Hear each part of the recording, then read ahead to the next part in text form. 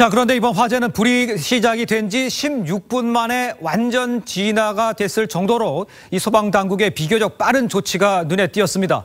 자, 그런데 인명 피해는 컸습니다. 이 살펴보니까 좁은 공간을 나눠 쓰는 구조에 마지막 퇴로였던 이 창문, 방범창에 가로막혔던 것도 원인으로 지목이 됩니다. 계속해서 조정린 기자입니다. 화재 발생 16분 만에 불을 모두 껐지만 피해가 컸던 이유는 대피를 가로막은 건물 구조와 방범창 때문이었습니다.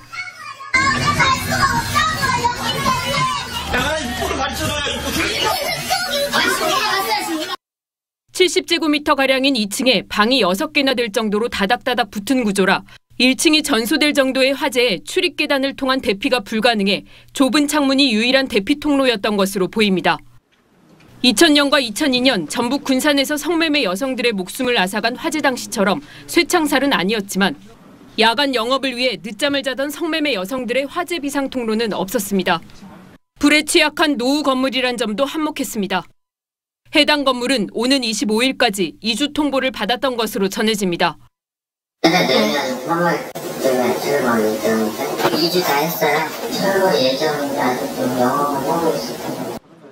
지은 지 50년이 넘은 오래된 건물이라 삽시간에 1층을 태운 연기가 2층으로 그대로 퍼져 피해를 키운 것으로 추정됩니다.